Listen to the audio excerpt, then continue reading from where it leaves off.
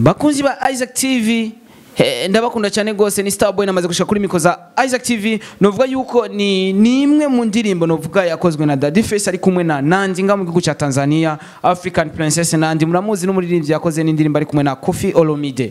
Ni umuririmbyi novuga ati yanatowe ndetse no muri East Africa nk'umuririmbyi w'umwigeme yavyitwayemo neza kurusha abandi. Ni umuririmbyi kazi abikora neza mu gihugu cya Tanzania ariko Daddy Face n'umurundi wacu tegezwa kumushyigikira. Muri uno mwanya na- nagerageje kurondera umwanya kugira nshobore kumurondera uko nagerageje ndamubaza Daddy Face kuko umwanya wa hariya n'uwino usanga bi- bitoroshe ugasanga hariya baturusha nk'amasaha atandatu ugasanga ino turi ku murango bo baba bari mu ijoro.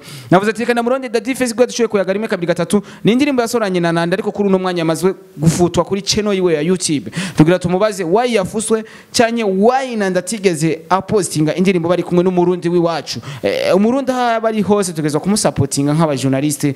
Nka Starboy navuze ati reka ndagerageze kurondera telefone yiwe ndamutelefone tuyagere rimwe kabiri gatatu kugira nshobore kumubaza. Reka renda mutelefone mugume hafi bakunzi ba Isaac TV mumenye vyinshi bivuye kuri Daddy Face nyene indirimbo yakoranye na Nandi. Na Starboy ndi hano nk'ijisho ryanyu. Reka tumutelefone tumve eh, iyo ashobora kutuyagira. Turamutse kwanza abakunzi ba Isaac TV uko biri kose novuga yuko n'abantu badukurikirana uko bukeye uko bwije. Eh, juste novuga yuko tugucishije eh, novuga yuko ari nka turi online deja tuko turayaga uramutse abakunzi ba Isaac TV imbere yuko dutangura ikiganiro cacu Eh, bakunzi ba Isaac TV ndabaramukije cyane. Ndizere ko mukomeye mumeze neza cyane. Eh, novuga yuko ni Daddy Face kuri uno mwanya tuko turavugana benshi barakunda kubona indirimbo ziwawe benshi barakunda kuvuga ati mbega Daddy Face ni umurundi canke ni umutanzania canke ni umunyamerika. Kuri uno mwanya tuko turavugana abantu baba bifuza kumenya ati mbega Daddy Face ni umurundi yavukiye. Muri uno mwanya tuko turavugana asangwa atuye mu gihugu icahe ya Face ni umurundi abamvuka aho mu Kamenge muri Ah, ubu nkabamba muri muri Amerika muri state ya New York. State ya New York. Agaklima kameze neza? Eh ameze neza ariko akabeho beho gusa niko ka no munsi kazindutse ka- gakara cyane. Eh, ntago ukumbuye akaboga utudagara na- na- na- n'ububamo. Iyo cyo muhira nyine murategeza kubikumbura cyane especially umukeke karobe ya ivyo kabisa indya zo muhira murategeza kuzikumbura iyo ni ngombwa Daddy Face gato yaje usen- usanzwe usenga mu dini ijyahe ah ndi mu Roman Catholic Ah, mwe baragenda kubwira ati mukamenge dukunda kuhita ko ari iwabo w'akabenze cyane cyane niyo dukunda kuja kugafungura abantu basanzwe bagafungura ah agaki akabenze urakazi oya oya nakonze A- akabenze n'akaboga k'ingurube gutyo like Oh, okay, okay, okay. Ni mboga y'ingurube. Eh, Novuga ariko muri mwanya two turavugana ni Daddy Face turumvise aho utuye turumvise ndetse n'aho uvuka tugerageje kuraba n'indirimbo nyinshi wasohoye uri mwiza nara narakwikundira ndetse hariho n'indirimbo Mary You n'izindi ndirimbo nyinshi. Eh, kuri uno mwanya novuga yuko indirimbo novuga iri kwirasirikira canke iri ku mwanya kuri no sego na yo two turavugana ni indirimbo mwakoranye na Nandi eh, African Princess. Novuga yuko ni indirimbo nibaze ko yagutwaye uburyo bukomeye cyane gose ko biri kose. Mbega kuri Daddy Face guhura na Nandi byagenze gute? Byari bimeze gute kuko guhura no muririmbyi na Nandi ni ikintu kitaba cyoroshe kuko utegezwa guhura na management yiwe aba ari ibintu bitoroshe cyane. Ah, Nandi cause je ndafite management iwanje Ah. Nandi jewe uh, management yanjye navuze ko na na na na- na- nabwiye management yanjye ko ngomba gukorana nawe. Kubera ndakunda ibikorwa byiwe, ndakunda ukuntu aririmba, ndakunda n'ibyo ariko aragira. Sasa rero nca mvugana na management yanjye, so management yanjye kigenda kuvugana na management yiwe, baragira amasezerano hama indirimbo irakogwa Yeah. Ariko ni indirimbo kusha kuri uno mwanya yasohotse nuvuga ko hasohotse audio mbega abarundi urashobora kubizeza canke twizere yuko eh, soon dushobora kuronka video muri kumwe na Nandi kuko ah, deja hasohotse audio yonyene. Ya hasohotse audio. So audio imaze gusohoka rero turiko turategura bivanye n'amasezerano yacu. Twa- twari twasezeranye. Sasa rero urumva video ntiyakogwa niko ari bwakore video hama haca hazamo nyene ama misunderstanding nyene hagati ya hagati ya management yanje n'iya nandi rero baca bagenda copyright claim kuri youtube barayiriporinga kuri ndene kuri youtube baca barayikura baca barayimanura indirimbo barayikuraho Eh. Haro nakandi kabazo nashaka kubaza kuko tugerageje kuraba tugiye kuraba rezo sosio ya Instagram ya Nandi ntitugeze tubona apostinga iyo ndirimbo canke apostinga na cover iyo ndirimbo mwasohoranye. Mbega aho byagenze gute? Yari amasezerano mwasezeraniye canke? Kuko abarundi benshi bariko baribaza why indirimbo ya Daddy Face ari kumwe featuring Nandi atigeze? Nandi ayipostinga kuri channel yiwe ya Instagram ya ivyo ivyo vyashitse kubera hari ama amanuzenya ama misunderstanding yahabayemo so Ah. niyo mpamvu mbere ata azapote ariko yuko cyo no kwiza mm. cyo no kwizeza abapenzi banje nuko gusa indirimbo tugiye kuyiso I mean nuko gusa rero ivyo twari twa- twumvikanye yuko watashoboye kuvyubahiriza Mm. so n'ubu rero two turarabara ukuntu kwanza audio kwanza yomaza kwanza gusubira kuri nuzenya kuri youtube Ah, nari meje kuraba mu kanya nasanze yamaze kuva ko deja imisango rero muri mu ma- muriko muravugana entre vous kugira indirimbo isubire kuri YouTube. Ego turiko turavugana na management yanje iriko iravugana na na management yiwe kugira indirimbo nyene tuyisubize kuri youtube. Ah, ndumva ni ikintu kitoroshe cyane. Mbega umaze kumva yuko indirimbo yamaze gufutwa kuri YouTube wa- wari wamenyeshejwe yuko indirimbo igira ifuto canke byagushikiye surprise uza gusanga indirimbo bamaze kuyikorako je kabisa yabaye surprise kabisa na- naje gusanga indirimbo bayikuyeko kandi ni ibintu vyatubabaje cyane so right now management yanje na management yiwe bariko baraganira kuko kino kibazo kiraza gushika no kuri ariyo shirahamwe ryitwa basata muri tanzania ri- rijejwe guhagararira ibintu vy'abaririmbyi Mm. so ico kibazo rero twamaze kwitura kuri basata hama rero izindi ngingo ziraza gufatwa tuzoba turabamenyesha bizovamo Ah, tuzeza abarundi rero yuko iyo ndirimbo itegerezwa gusubirwa kuri channel yawe ya YouTube ndetse tuyironkere na video canke urabona yuko video izosubira gukunda naho indirimbo isubira kuri channel? Ya ndirimbo irasubira kuri channel yanje hama amasezerano twumvikanye badashoboye kubahiriza amasezerano twumvikanye badusubiza amafaranga yacu. Okay, reka twizere yuko izosubira ngaho. Ni indirimbo novuga yuko tugerageje kuraba abatanzania novuga yuko utabanka ariho n'indirimbo waso, wa, wasoranye na Christian Bella. Eh, ariko Daddy Face nituko turabona uza mu Burundi naho ko dufise urungano turafise ba Wiz Designer turafise ba Orege turafise nde- ndetse na ba Berry Music kandi usanzwe bazi twitege collabo yabo bana bano mu gihugu cyacu cy'u Burundi ryari?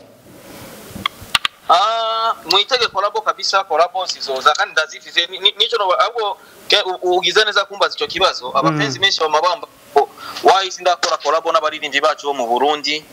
So ico no bamenyesha yuko abaririmbyi bacu mu Burundi barashoboye kandi bakora neza so indirimbo zirahari No- noshobora kwizeza yuko kolabo zihari gusa nibitege umunsi nizashaka gusohoka zizosohoka Eh.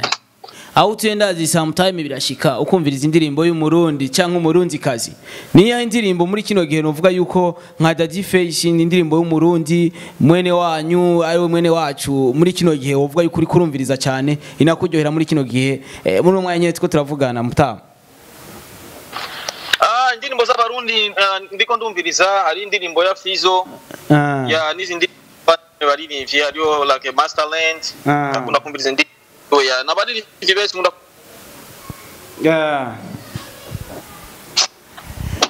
reka rero tukwitege vuba ari nka Daddy Face ko vuba ushobora gushika hano mu gihugu cawe ari cyo cacu kugira ubandanye gukora ibikorwa neza ndetse bya music ubif- ufashanya ndetse n'abandi nu- n'urungano nuvuga yuko bakora neza hano mu gihugu cyacu cy'u Burundi kuko ni benshi bariko barakora cyane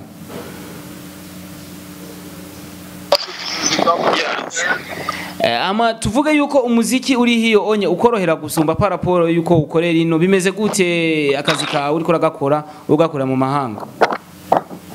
Ah, gukorera umuziki ino usanga bitoroshe usanga bitoroshe ariko nyene turagerageza nyene kubandanya nyene duposhinga poshinga Mm. usanga bigoye bivanye n'amasuku tuza turinjiramo gukoreramo n'ibisanga bita bitugora cyane. Ah.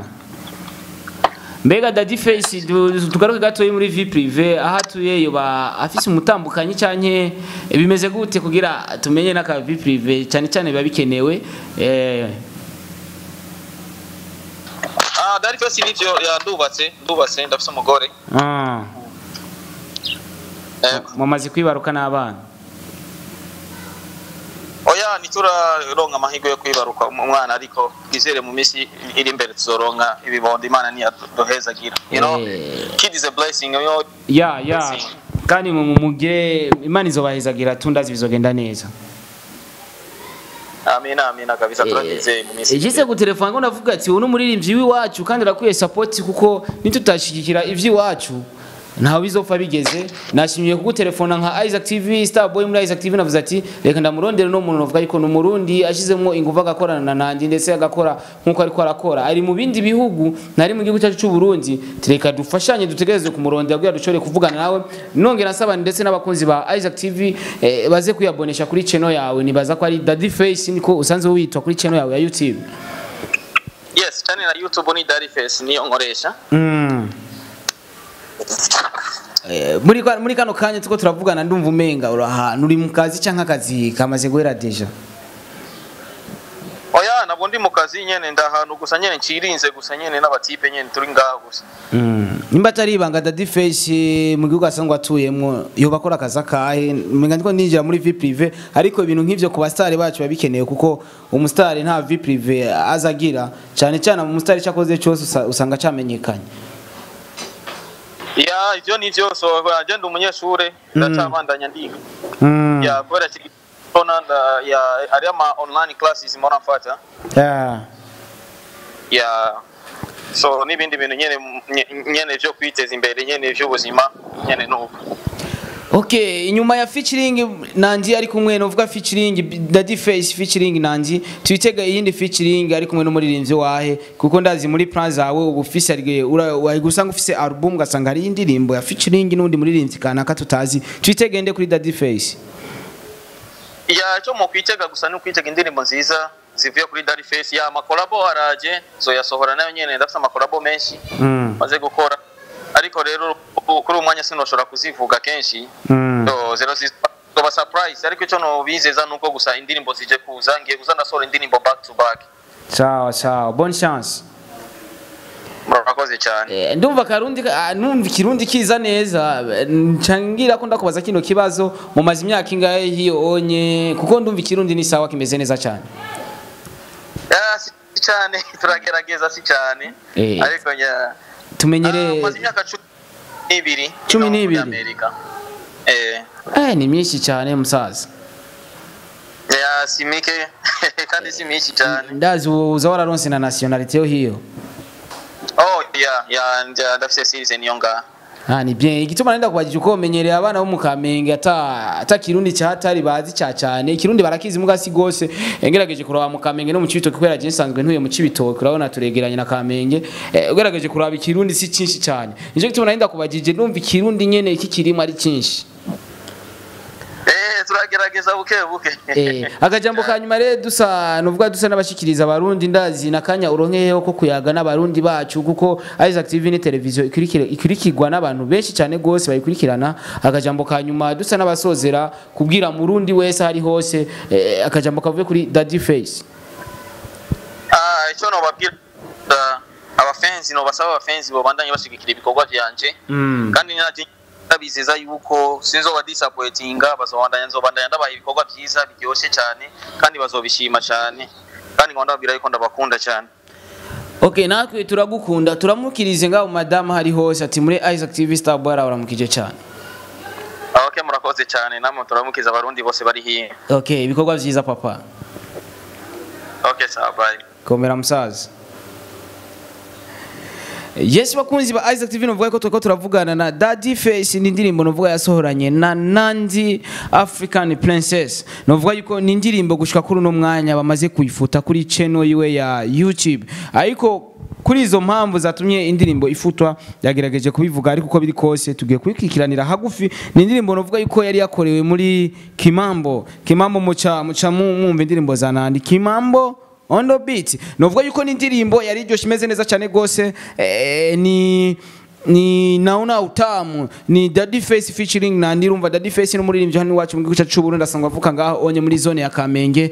Muca muhabona abantu dusanzwe tu, tuvuka eh, mu quartier zino. Eh, ndetse mu Burundi mu Burundi bwose nta muntu atazi mu Kamenge. Ni umuhungu w'iwacu n'umusore w'iwacu tubandaye tumushigikira tumusapotinga mu bikorwa byiwe ni indirimbo yakoze ari kumwe na Nandi ariko kuri uno mwanya yamaze gufutwa kuri channel yiwe. Eh, yarasohoye n'indirimbo na ba Christian Bella ngaho mu gihugu cya Tanzania. Ndetse aranatwemereye yuko agiye gukora featuring ari kumwe n'abarundi bacu. Dufise abarundi benshi bariko barakora neza cyane gose nkuko nakubwiye ba Wiz Designer Olege ba Berry Music ndetse ba Chris MB ariho ba Monia Frere novuga na jewe nyene tuko turakora neza cyane gose na Isaac TV reka nende bashimire mwese mwako muradukurikirana. N'umurundi wacu. Tutegerezwa kumusapotinga hazo bari hose kugira ibintu bigende neza. Dushigikira ivy'iwacu. Umurundi asohoye indirimbo naho abari mu kindi gihugu nibisigura yuko dusupportinga uri mu gihugu cyacu wenyene kuko naho abari mu kindi gihugu famiye yiwe biri hani Burundi. Tuzegerezwa kumushyigikira kugira ibikorwa vyiwe bigende neza cyane gose wewe ukurikirana Isaac TV reka ndagushimire cyane. Eh, uri umuntu witeka kuri twebwe ugira aho bawubaho turabakunda cyane gose yari starboy kuri mikoza Isaac TV nari ndabakumbuye cyane gose nari ndabakumbuye gose aho muri hose. Gira like na share ku biganiro vya Isaac TV biba vyiza cyane gose kuko ugize share ubu dufashije ugize subscribe ubaye mu abone wa Isaac TV ubu uri kuradukurikirana neza cyane gose Bica byerekana ko two turakora ibikorwa dufise abantu badushyigikiye. Mugira muba mubawe bye bye ni star boy Mr Home Mr Meeting aho ikiganiro gishasha ngira ndabazanire eh, citwa Meet. Azuba ari ikiganiro kimeze neza cyane gose mucitege wait and see. Bye bye. Cha Bilale